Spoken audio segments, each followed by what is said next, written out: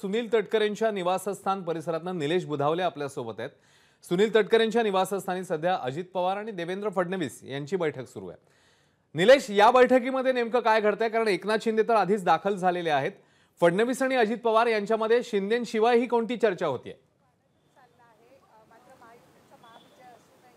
अश्विन महाराष्ट्र भाजपचे प्रमुख असणारे देवेंद्र फडणवीस सध्या अजित पवारांशी मागच्या जवळपास दोन तासांपासून चर्चा करताना आपल्याला पाहायला मिळणार. साधारणपणे सव्वा आठ वाजता देवेंद्र फडणवीस हे सुनील तटकरेंच्या या जे आर जी रोड परिसरातल्या निवासस्थानी पोहोचले आणि त्यानंतर या राष्ट्रवादी काँग्रेसचे नेते आणि देवेंद्र फडणवीस यांच्यामध्ये बैठक सुरू असल्याचं आपल्याला पाहायला मिळते राष्ट्रवादी काँग्रेस पक्षाच्या ज्या मागण्या आहेत त्या मागण्यांसंदर्भात या बैठकीमध्ये चर्चा होऊ शकते. खरं तर राष्ट्रवादी काँग्रेस पक्ष आणि भाजप यांचं संख्याबळ पाहिलं तरी महाराष्ट्रामध्ये एक मजबूत सरकार स्थापन होऊ शकतं. अशा वेळी एकनाथ शिंदे देखील त्यांच्यासोबत आहेत. त्यामुळे प्रत्येकाचं समाधान होईपर्यंत आणि प्रत्येकाचं समाधान होईल अशी खाती देखील त्यांच्या वाट्याला आली पाहिजेत. ही प्रामुख्यानं कुठेतरी भाजपच्या वतीनं काळजी घेतली जाते.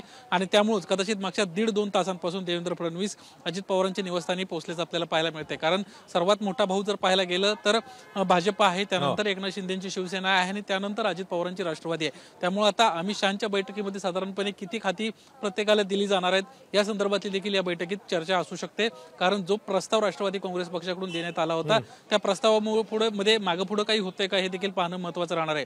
मागच्या महायुती सरकारच्या काळात जर आपण पाहायला गेलं तर नऊ राष्ट्रवादी काँग्रेस पक्षाचे कॅबिनेट मंत्री होते. राज्यमंत्री पद देखील दोन दिली जातील असं आश्वासन होतं. मात्र शेवटपर्यंत राज्य मंत्रिमंडळाचा विस्तारच झाला नाही. केवळ कॅबिनेट मंत्रीपद होतं. आता मात्र पाच वर्ष सरकार चालणार आहे. त्यामुळे जे काही असेल ते आताच झालं पाहिजे आणि त्यामुळेच कॅबिनेट मंत्रीपद राज्यमंत्रीपद आणि महाराष्ट्रातली महत्वाची बाब असणारे महामंडळ यांचंही वाटप योग्य रीतीने व्हायला हवं आणि त्यामुळेच कदाचित ही बैठक बैठकीची वेळ वाढताना आपल्याला पाहायला मिळते अमित शहाच्या घरी एकनाथ शिंदे पोहोचलेत. त्या ठिकाणी भाजपचे प्रमुख देखील जे पी नड्डा पोहोचल्याचं आपल्याला पाहायला मिळालं होतं. ती स्वतंत्र बैठक जरी असली तरी महाराष्ट्रातल्या इतर महत्त्वाच्या घटक पक्षासोबत देखील एक योग्य समन्वय समन्वय होऊन तो अमित शहासमोर मांडायचा आहे आणि त्यामुळेच मीडिएटर म्हणून या ठिकाणी देवेंद्र फडणवीस पोहोचल्याचं आपल्याला पाहायला मिळत आहेत कदाचित महाराष्ट्राची सर्व जी सूत्र आहेत ही देवेंद्र फडणवीसांच्या हातात आली तर महाराष्ट्रामध्ये प्रत्येकाला सांभाळून घेणं प्रत्येक घटक पक्षाच्या प्रत्येक समाजाला किंवा प्रत्येक विभागाला त्यामुळे या बैठकीत नेमकं काय होतं तेही पाहणं महत्वाचं आहे. आणि आता पुढच्या काही मिनिटांमध्ये कदाचित पुढच्या तासाभरामध्ये अर्ध्या तासामध्ये कदाचित आता हे दोघे नेते देखील अमित शहाकडे जातील आणि मग महायुतीची ती बहुप्रतीक्षित बैठक सुरू होईल. निलेश तू आपल्या सोबतच राहा. दरम्यान दिल्लीमध्ये दाखल झाल्यावर एकनाथ शिंदे हे आता अमित शहाच्या निवासस्थानी बैठकीसाठी दाखल झालेत आणि त्यांनी माध्यमांशी संवादही साधलाय. बघूया. आता बैठकीला मी जातो आहे.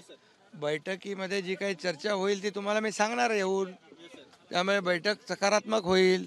कालही देखील मी प्रेस कॉन्फरन्स घेऊन माझी भूमिका स्पष्ट केलेली आहे की आता कुठलाही अडथळा महायुतीचा मुख्यमंत्री होण्यामध्ये नाही आहे लाडकी बहीण